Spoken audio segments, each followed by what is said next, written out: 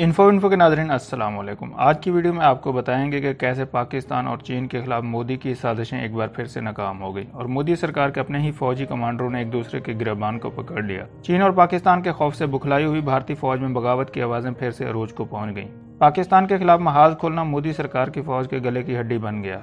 अस्करी की आदत में शुरू होने वाली लड़ाई ने मोदी की कुर्सी को हिला के रख दिया। भारतीय आर्मी चीफ की बातों को कमांडरों ने मानने से इनकार कर दिया। चीनी फौज के आपे से बाहर होने से पहले ही भारतीय फौज ने अपने पाँव के ऊपर खुद ही कुल्हाड़ी मार दी। वीडियो में आपको ये भी बताएँगे कि कैसे भारतीय फौज में बगावत ने सर उठा लिया और भारतीय आर्मी चीफ ने अपने जर्नैलों के खिलाफ कौन सा बड़ा एक्शन ले लिया पाकिस्तान ने कैसे आलमी सतह पर भारत को चारों शाने चित कर दिया? वीडियो में आपको ये भी बताएँगे कि भारत और चीन की फौजी क्यादत के दरमियान मुजाकरत फिर से नाकाम क्यों हो गए? इसे मोदी के हवारी और दोस्त राजनाथ सिंह ने चीन के खिलाफ बयान दाग कर मोदी को एक और नई दलदल में डाल दिया। राजनाथ सिंह ने अपनी आवाम को खुश करने के लिए चीन के खिलाफ ऐसी बात कर डाली जो उल्टा मोदी सरकार के गले की हड्डी बन गई।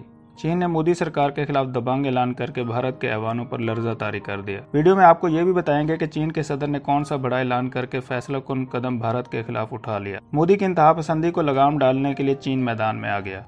वीडियो में आगे बढ़ने से पहले नए आने वाले दोस्तों से गुजारिश है कि चैनल को सब्सक्राइब कर लें और घंटी के निशान को ज़रूर दबा दें। वीडियो को व्हाट्सएप ग्रुप्स और फेसबुक पर भी ज़रूर शेयर कर दें। नादरीन कराम चीन और पाकिस्तान को धमकियाँ देने वाला भारत खुद ही बैरूनी खतरात के बाद अब शदीद किस्म के अंदरूनी इंतज़ार का शिकार हो चुका है। इस इंतज़ार ने पूरे भारत को अपनी लपेट में लेना शुरू कर दिया है। चीन के हाथों लद्दाख में बदतरीन शिकस्त के बाद भारत के फौजी हलकों में हलचल मची हुई है और हालात इस कदर कशीदा हो चुके हैं कि मोदी जो चीन के खिलाफ बड़े बड़े दावे कर चुके थे। अब अपनी फौज की वजह से अपनी कुर्सी को संभालने में नाकाम होते नज़र आने लगे। भारतीय जनरल बिपिन रावत के खत्े में जारी अस्करी पॉलिसियों की वजह से इसके अपने ही कमांडर नाराज़ हो गए हैं। बिपिन रावत ने मोदी को खुश करने की बजाय उल्टा मोदी की कुर्सी को हिला के रख दिया। पाकिस्तान के अंदर घुसकर पाकिस्तान को मारने की बढ़के मारने वाले भारतीय जनरल आपस में ही उलझ पड़े। हालात भारतीय फौज के इस कदर बिगड़ चुके हैं कि भारतीय आर्मी चीफ निर्वाणे को इस सारे मामले में मुदाखलत करना पड़ी। नाजरीन कराम एशिया के दो चौरी सलाहियत रखने वाले पड़ोसी ममालिक भारत और चीन के फौजी गुजस्ता जून से लाइन ऑफ़ एक्चुअल कंट्रोल पर एक दूसरे के आमने सामने सरहद पर जारी फौजी कशीदगी को ख़त्म करने के लिए सफारती और फौजी सतह पर कई दौर की बातचीत के बावजूद अभी तक कोई काबिल ज़िक्र पेशरफ नहीं हो सकी। 21 सितंबर को दोनों मुल्कों के फौजी कमांडरों के दरमियान 14 घंटे तक चलने वाली बातचीत के बाद भारतीय फौज की तरफ़ से एक बयान जारी किया गया, जिसमें कहा गया कि बातचीत में इस अमर पर इतफाक हुआ कि दोनों मुल्कों की फौज सरहद पर अपने जवानों की तादाद में मजीद इजाफा नहीं करेंगी। भारतीय वजारत दिफा ने भी एक बयान में कहा है कि दोनों फरीकैन के दरमियान ज़मीनी सतह पर बातचीत को मजीद मस्तकम करने और एल एस सी पर गलत फहमियों और गलत फैसलों से बचने पर भी इतफाक हुआ। ताहम इस बयान में दोनों फौज के एक दूसरे के सामने से हटने के बारे में कोई ज़िक्र नहीं। दोनों मुल्कों के फौजी कमांडरों के दरमियान तकरीबन 14 घंटे की बातचीत हुई, लेकिन इसके अख्ताम पर कोई इतला नहीं दी गई। मुश्तर बयान में बताया गया कि फरीकैन ने तस्लीम किया है कि आगे की पोजीशनों पर अब मजीद फौजी नहीं भेजे जाएँगे। दोनों मुल्क जितनी जल्दी मुमकिन हो फौजी कमांडरों की सतह पर सातवें दौर की बातचीत करेंगे और एक दूसरे के साथ मिलकर सरहदी इलाके में अमन के क्याम को यकीनी बनाएँगे। नाजरीन कराम फौजी कमांडरों की इस मीटिंग से तकरीबन दो हफ़्ते कबल दोनों मुल्कों के वजरा खारजा की मुलाकात हुई थी और इनके दरमियान ये तय हुआ था कि दोनों मुल्कों की अफवाज लद्दाख में एक दूसरे के सामने से हट जाएँगी। एक दूसरे से मुनासिब दूरी पर रहेंगी और कशीदगी को कम करेंगी। वजर खारजा ने फौज के हटने के लिए कोई मदद मुकर नहीं की थी। भारत में दिफाई अमूर के माहरीन इस मुश्तर बयान को शक की निगाह से देख रहे हैं। सबक फौजी अफसर सुशांत सिंह ने ट्विटर पर लिखा है कि बातचीत के पहले के पाँच दौर के बाद भारत ने इस तरह का कोई भी बयान इसलिए जारी नहीं किया क्योंकि भारत इस तरह के बयान के मसवदे से मुतफिक नहीं था। उन्होंने लिखा है कि इस बयान से ऐसे लगता है कि भारत ने नई मौजूदा सूरत हाल को तस्लीम कर लिया है। स्ट्रेटेजिक अमूर के माहिर सबक फौजी अफसर अजय शुक्ला ने भी सुशांत सिंह की बात की तायद कर दी है कि बयान में भारत के दो अहम मुतालबात का कोई ज़िक्र नहीं है। पहला ये कि चीनी फौज अपनी पोजीशन से पीछे हट जाए और दूसरा ये कि अप्रैल से पहले की सूरत हाल को बहाल किया जाए।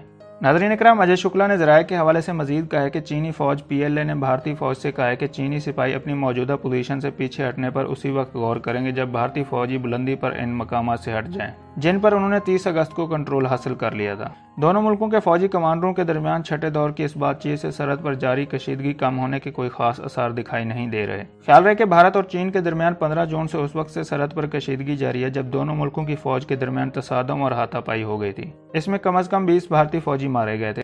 गो के इस तसादों में चीनी फौजों की भी हलाकत हुई थी, लेकिन बीजिंग ने अब तक इनकी तादाद नहीं बताई।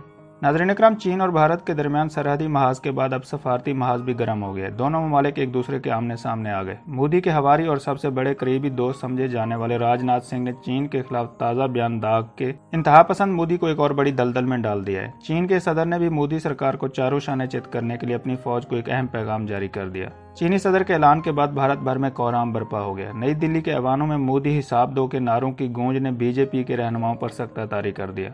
नाजरीन कराम, अब भारतीय फौज भी मोदी को चीन से बचाने में नाकाम हो गई। मोदी का दायां बाजू समझे जाने वाले बिपिन रावत को भी चीन ने निशाने पर रख लिया है। चीनी सदर के हुक्म के बाद चीन की फौज ने लद्दाख में मोदी और इसके हवारी बिपिन रावत के लिए फंदा तैयार कर लिया है। बिपिन रावत जो हमेशा की तरह मोदी को गलत मशवरा देने की कोशिश करते हैं, अब खुद ही चीन के चुंगल में फंस चुके हैं। चीन और भारत के दरमियान जारी जंग में एक नया मोड़ आ गया। चीन ने मोदी सरकार से बदला लेने के लिए अपना आखिरी पत्ता भी फेंक दिया। मोदी और बिपिन रावत के लिए खतरे की घंटी बज गई। राजनाथ के बयान के बाद चीनी सदर के हुक्म ने पूरे भारत में कोहराम बर्पा कर दिया। मोदी की इंतहा पसंदी को लगाम डालने का वक्त आ गया चीन ने मोदी को अल्टीमेटम दे दिया कि अगर ये काम बंद न किया गया तो चीन की फौज जल्द ही नई दिल्ली की सड़कों पर नज़र आएगी। मोदी और इसकी फौज के दरमियान जारी नाराज़गी का फ़ायदा चीन ने पूरी तरह से उठा लिया चीन ने मोदी को सबक सिखाने के लिए अब तक का तारीखी ऐलान कर दिया जिसकी वजह से मोदी की मौत करीब आ चुकी है। भारत ने खुद को एक अमन पसंद न होने वाला मुल्क साबित कर दिया क्योंकि भारत में बड़े पैमाने पर इंसानी हकूक की खिलाफ वर्जियाँ की जा रही है, जिसकी वजह से हमसाया ममालिक के अमन को खतरात लाक हो गए हैं। नाजरीन कराम मोदी और भारतीय फौज अपनी आवाम को जज्बाती करने के लिए सारी हदों को पार कर चुकी है, जिसके बाद दुनिया में खतरे की घंटी बज गई है। इस वक्त भारत के अपने हमसाया ममालिक के साथ ताल्लुक दिन ब दिन कशीदा होते जा रहे हैं। चीन, पाकिस्तान के बाद नेपाल जैसा मुल्क भी मोदी सरकार की नाकस पॉलिसियों की वजह से भारत को आँखें दिखाने लगा है। भारत अब दुनिया भर में आलमी तनहाई का शिकार होने लगा है और इस चीज़ को चीन अपने फ़ायदे के लिए इस्तेमाल कर रहा है। एक तरफ़ तो चीन ने भारत की लद्दाख में तारीखी चित्रोल की है और दूसरी तरफ़ चीन के खिलाफ भारत का साथ देने के लिए दुनिया के सारे ममालिक ने मोदी को ना कर दी है इससे मोदी की बेबसी का अंदाज़ा लगाया जा सकता है। सूरत हाल इस वक्त इस कदर बदतर हो चुकी है कि चीन अगर भारत के फौजी मार दे या फिर इसके खिलाफ कोई और बड़ी कार्रवाई कर डाले तो चीन के आगे दुनिया के सारे ममालिक खामोश रहते हैं। इसलिए चीन अब मोदी और बिपिन रावत को फांसी के फंदे पर लटकाने जा रहा है, ताकि भारत की मुकम्मल तौर पर कमर को तोड़ा जा सके। नाजरीन क्रम चीन के साथ भारत की हालिया टक्कर ने इस खत्े में ही नहीं, बल्कि आलमी सियासत के मंजरनामे को भी तब्दील करना शुरू कर दिया भारत और चीन के दरमियान अगर जंग बंदी हो भी जाए तो लेकिन चीन के फौजों की जानब से उठाई जाने वाली हजमियत से भारतीयों के दिलों पर जख्म मजीद गहरे हो गए ये हकीकत भी सारी दुनिया के सामने आश्कार हो गई है की भारत की सियासी और अस्करी क्यादत चीन से लड़ने की इस्तदाद नहीं रखती, और न ही सियासी अजम। भारत का वास्ता अब एक मुख्तलिफ़ चीन से पड़ा है, जो जारहाना अंदाजे सियासत और सफारतकारी को अख्तियार कर चुका है, और अपने मौके पर इस कदर डटा हुआ है कि दुनिया की कोई भी ताकत इसको पीछे हटने पर मजबूर न कर सकी। दोनों ममालिक के दरमियान मामूल के ताल्लुक बहाल होने का इम्कान कम है, लेकिन ये भी इम्कान ज़ाहिर किया जा रहा है कि भारत, अमेरिका और चीन मुखालिफ इतिहादियों के और ज़्यादा करीब हो जाएगा।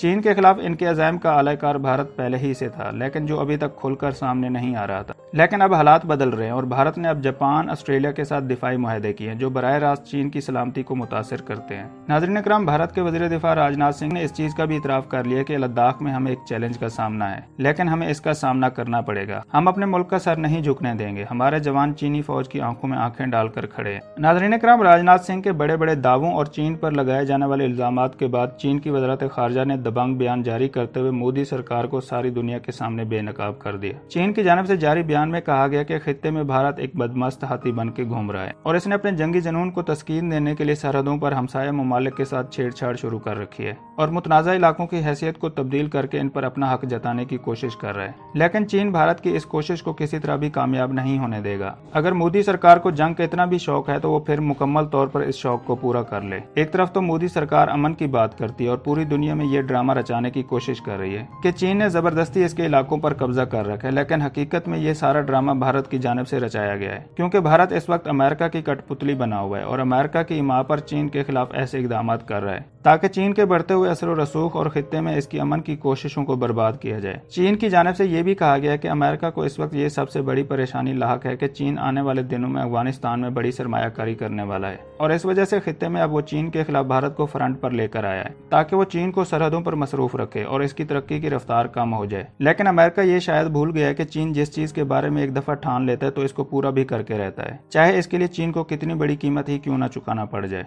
दोस्तों, वीडियो पसंद आई है तो लाइक और कमेंट करना मत भूलें। और अगर अभी तक आपने चैनल को सब्सक्राइब नहीं किया तो सब्सक्राइब कर लें और घंटी के निशान को ज़रूर दबाएँ। वीडियो को व्हाट्सएप ग्रुप्स और फेसबुक पर भी ज़रूर शेयर कर दें।